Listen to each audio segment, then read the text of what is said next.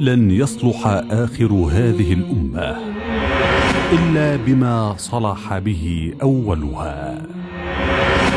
موقع أنا السلفي يقدم لكم هذه المادة. السلام عليكم.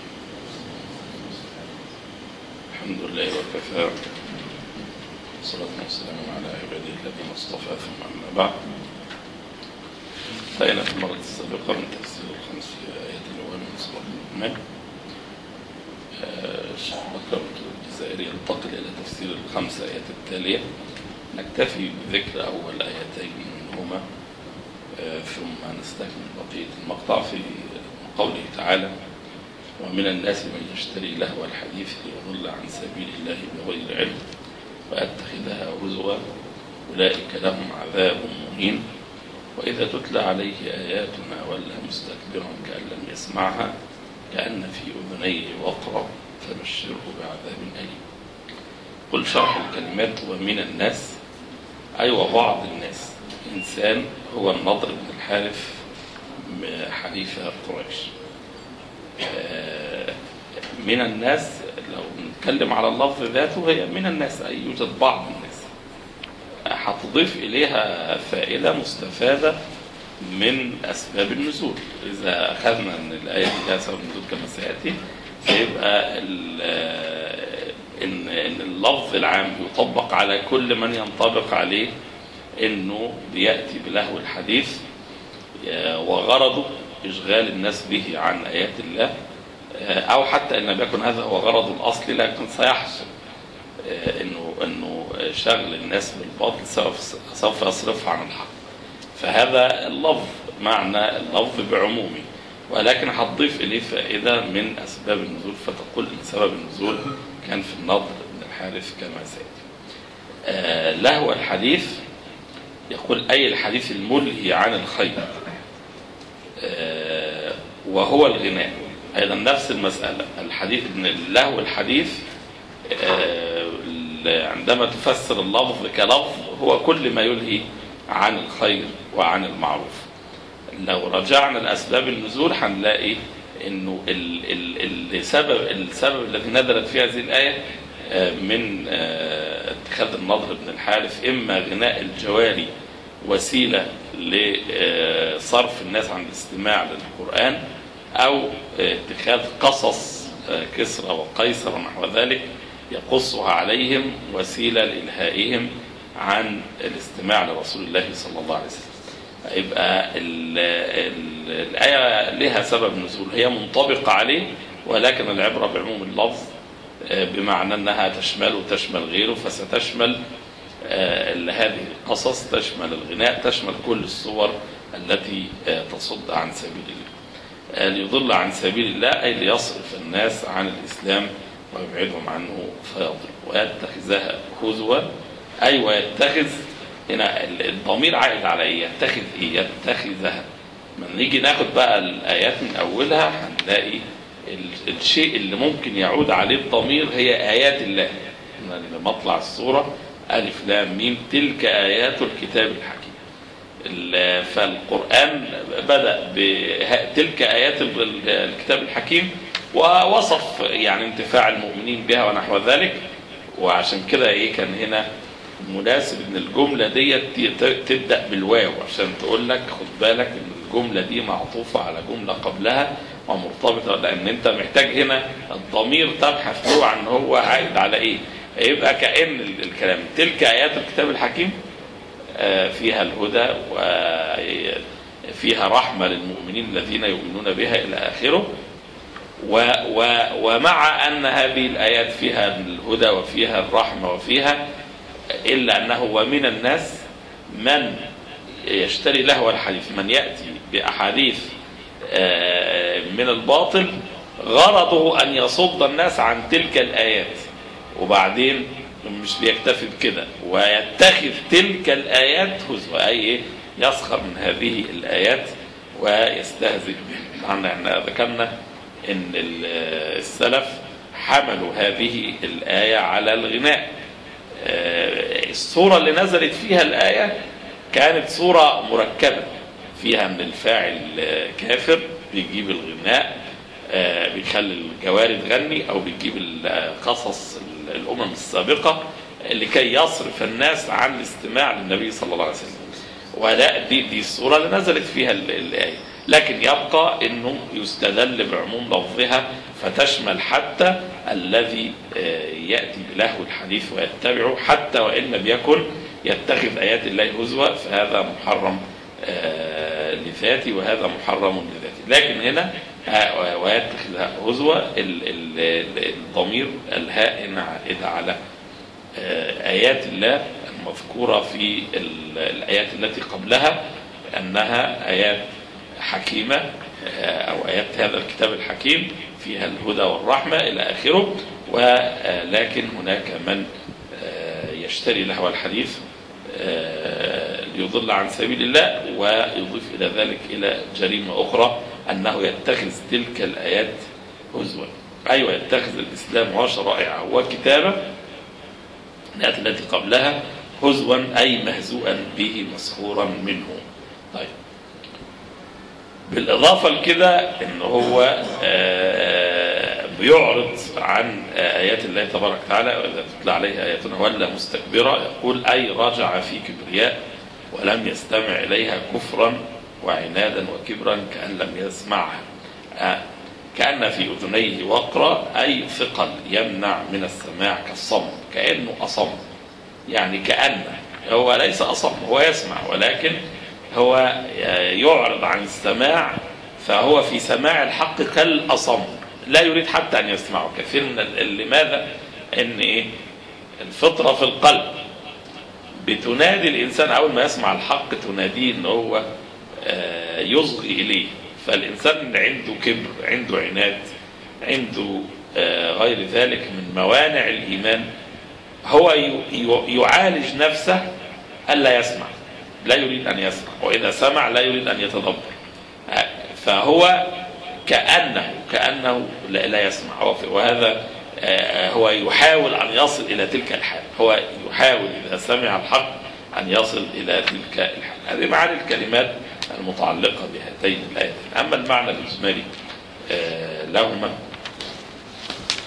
فيقول لما ذكر تعالى عباده المحسنين وأثنى عليهم بخير وبشرهم بالفلاح والفوز. ذكر صنفا آخر على النقيض من الصنف الأول فقال ومن الناس من يشتري لهو الحديث ليضل عن سبيل الله بغير علم.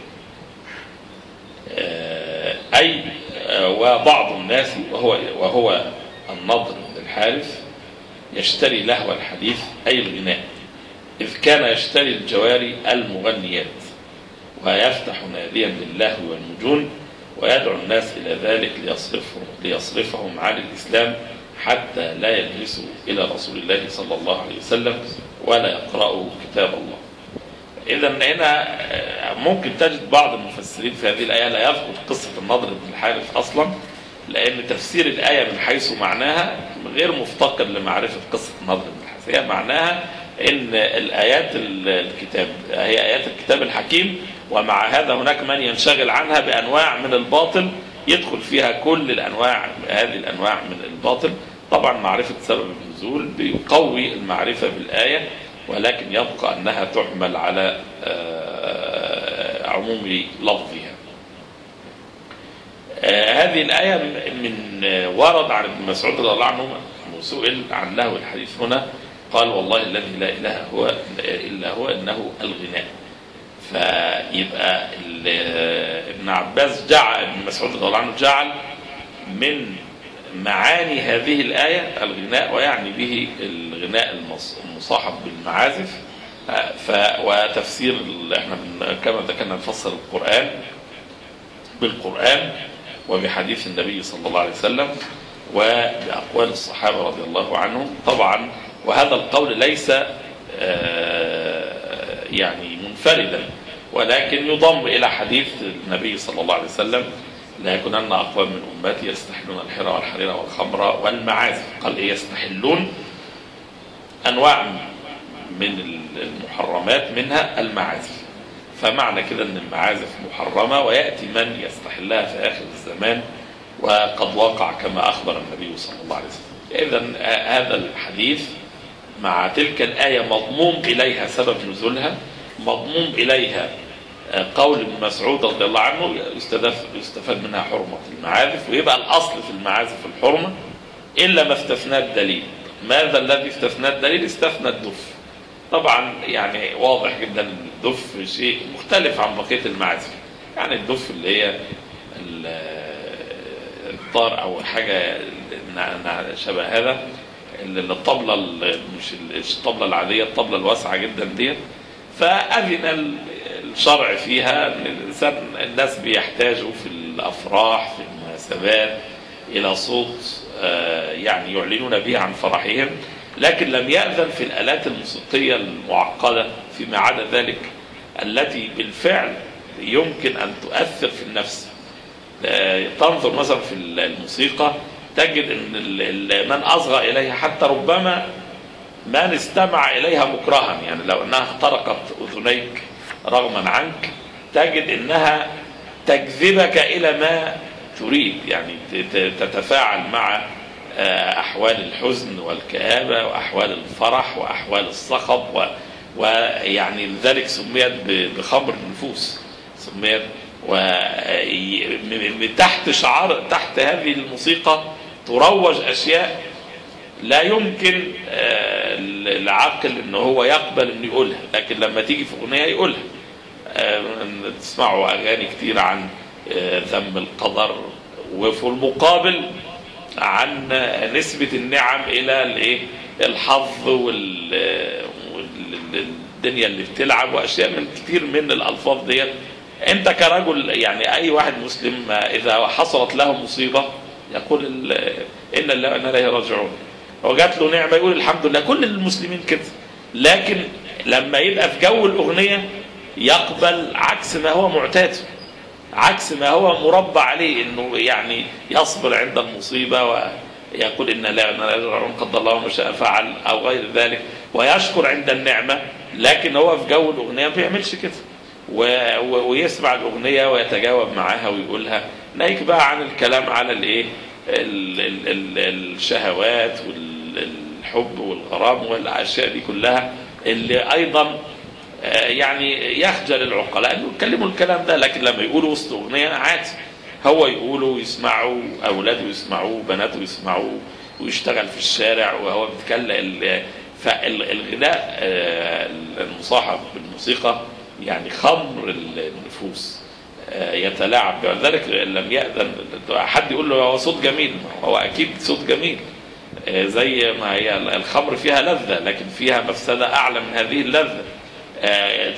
خلق الله عز وجل فتنة وابتلاء حيث من يصبر عنها في الدنيا يسقى يوم القيامة من خمر ليس فيها هذا النصب وفيها اللذة الصافية أيضا من يصبر عن هذا الموسيقى في الدنيا يرزق يوم القيامة يعني سماع الحور العين. نعم هي فيها شيء أكيد ما هو الناس بتحبها ليه؟ لكن هي من جملة الأمور التي فيها كما قال الله عز وجل يسألونك عن الخمر والميسر قل فيهما إثم كبير ومنافع للناس وإثمهما أكبر من نفعهما الشرع استثنى من هذا آلة لا لا تعد آلة موسيقية بالمعنى المعروف يمكن أن تؤدي الغرض في عرس أو في عيد أو عند قدوم غائب أو عند احتفال بمناسبة تؤدي الغرض دون أن تكون فيها النغمات المعقدة المركبة التي تستطيع أن تنتزع من النفوس يعني وتتلاعب بها وتوجهها أينما شاءت. يعني كان هذا ما يتعلق بهاتين الآيتين التي تتحدث عن لهو الحديث في مقابل آيات الكتاب الحكيم وما فيها من حكمة وما فيها من هدى وما فيها من رحمة وأن لهو الحديث يشغل أو يصد عنها.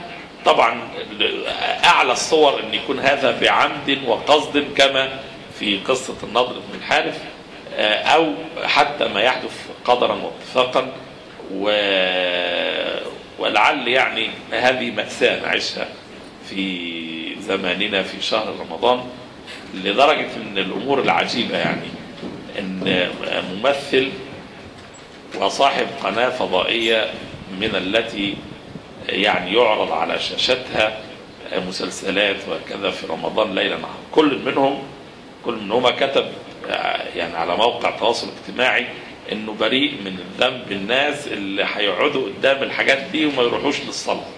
وبينصح الناس ما تضيعش ركعة عشان المسلسل بتاعي. وما تضيعش جزء من القرآن كنت ناوي.